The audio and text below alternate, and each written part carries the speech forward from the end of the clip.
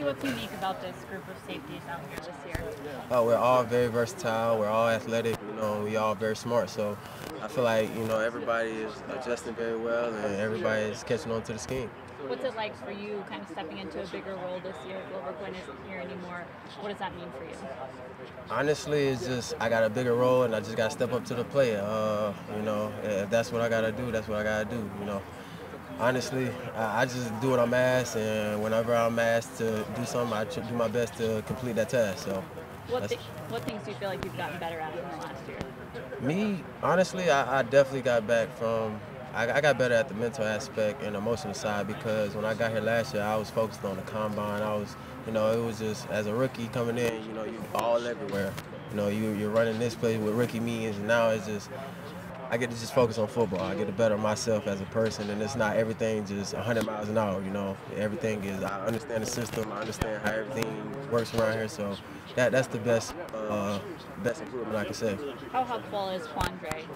Uh, Quandre is very helpful. Tavon's the same way. You know, those guys. They they definitely. If I have any questions, I go to them, and they definitely send me in the right way. So honestly, I, all my teammates help me out. I mean, Matt's uh, helped me out. I mean, everybody, literally. If I have any questions or, you know, from a coach might be, I, am going to go ask. So everybody helps me out.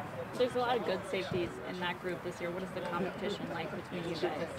Honestly, it, it's intense. You know, we out here competing every day, just trying to be better. So honestly, we just all come out here, just give it our all, and just trying to make ourselves better from every aspect.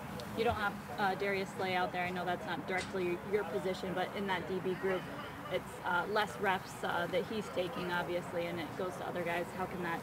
Uh, how can guys take advantage of that this offseason? Honestly, those guys just got to step up and use that time to better their craft. You know, these the reps don't come very often. You know, so out here you might get four or five reps, so you got to make every rep count. You know, it's different from college where you're getting 10, 12 reps. You know, so every rep counts, and you just got to come out here and push yourself to be better. And I, I feel like that's what every DBA is coming out here to do. The whole team is pretty much.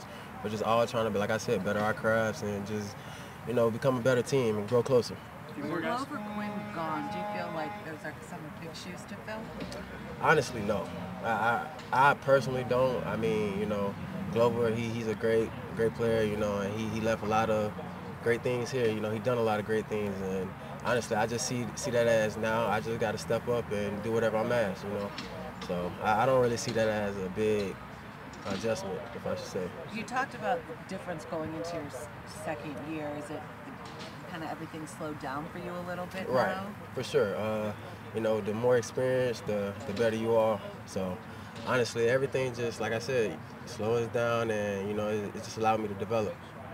Particular area that you focused on this offseason in terms of your improvement? Not really, no. I, I, like I said, I focused on me just being a better human being, honestly, physically, emotionally, and spiritually. You know, I just want to be a better person. You know, so when I come out here, I can give it my all. Anything in particular that uh, that you found that helped with uh, some of the stuff? Just going hard every day, pushing myself till I couldn't go no more.